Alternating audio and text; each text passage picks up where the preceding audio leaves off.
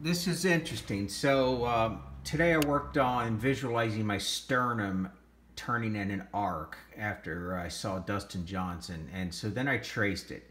And the bottom of my arc and my head and everything is right over the ball. But I think it needs to be about six inches towards the target. Look at Dustin Johnson. He gets his big left move here. And look, the center of his sternum is six inches farther forward. His head is six inches farther forward. I think it's a big misconception that the spine is this vertical pole that stays still as we turn. It doesn't. It, it arcs a lot. So watch, watch what happens to this.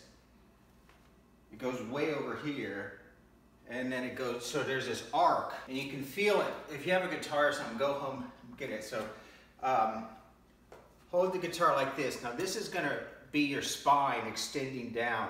And if you turn the wrong way, it's gonna run into your legs, okay? So get square, everything is parallel. Knees, knees, knees, shoulders are parallel. So now, see how this is turning this way? Okay, now, if I, if I do this, that, like I do on a real golf ball, look what happens. It hits my leg.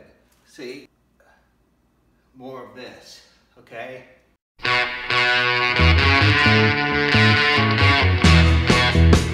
I'm trying to get my center of gravity. If this is the ball and this is a vertical thing, I want my leg and my whole body past it.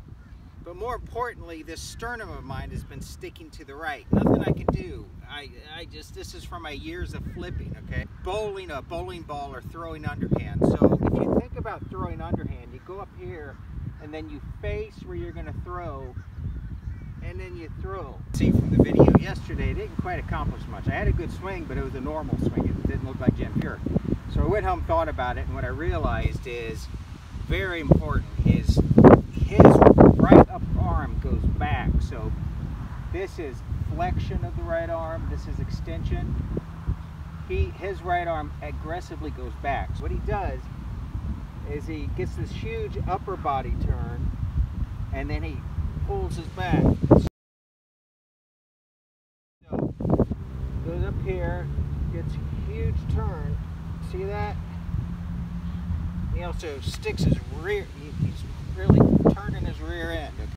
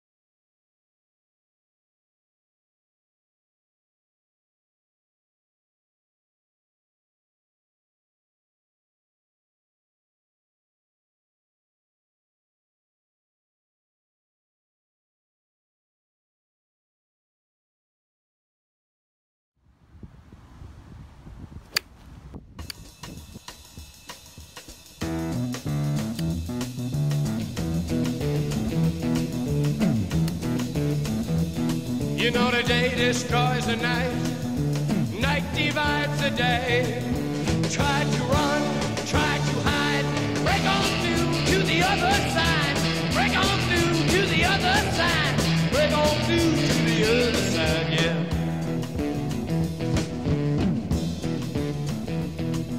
We chased our pleasures here, dug our treasures there.